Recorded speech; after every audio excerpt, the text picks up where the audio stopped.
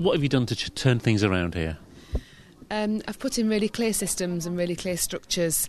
Um, and alongside that made sure that the staff's confidence and morale was significantly boosted because staff had spent a long time um, being very willing and working really hard but not feeling they were making the progress um, as a result of that work so that was a really important factor um, it was making the staff feel very positive about coming to work and doing their job. What sort of things were going wrong in the past? How, how, how were the kids not sort of responding? There was um, some issues over poor behaviour and attitude. Um, there was a lack of um, creativity in the curriculum um, and lack of exciting opportunities for the children, so there wasn't that motivation to want to come to school. The staff were really tired and really um, worn down as a result of being in special measures for so long, so they weren't always giving their best.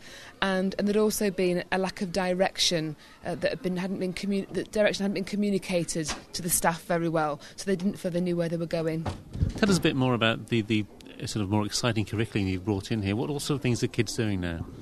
The, we've really re, re, we've really re-energised ICT by having it in a really high-profile area of the school, so that when children are doing ICT, it's in the hub of the school and that's really brought the school to life.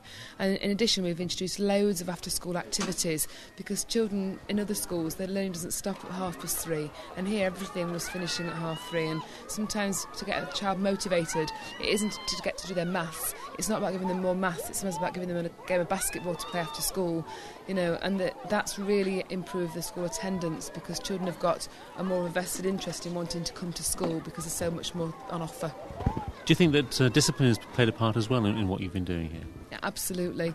I feel that the staff needed to have very firm structures and systems in place, and so did the children. And so I have introduced a very strict and very um, tight discipline procedure, which has paid dividends. The atmosphere in school is now really calm. The children are much, much better motivated, and so it has paid off. What did you do? Give them lines, attention? What? This one's really bad. Um, I initially had to do some exclusions and um, some temporary exclusions, and I had to in- introduce um, detention at lunchtimes. And interestingly, the number of children in detention at lunchtime has um, halved since I started in May.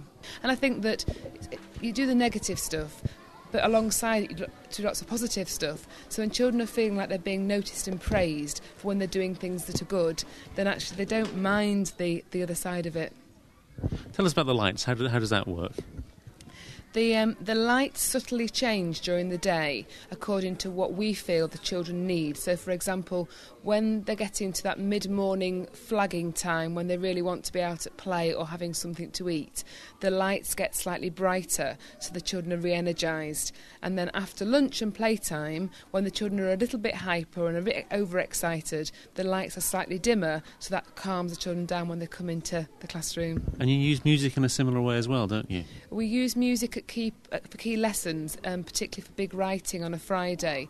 Um, during big writing, we actually manually dim the lights even further. So, and some teachers will have like a lava lamp on or a spotlight on, and then music will be played. And um, and the next stage from that is that some staff want to introduce some diffusers to actually change the smells in the classrooms as well. We're experimenting with lots of different things. Children like novelty, don't they? At the end of the day, and I think that what's difficult to analyse is is it the novelty value that's having an impact, or is it the actual music that's having the impact? And I suppose only time will tell, really.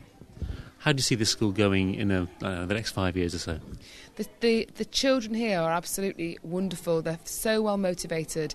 They are they are really enthusiastic when you introduce anything new. The parents are really supportive, and the, the building blocks are now in place for this school to be an outstanding school.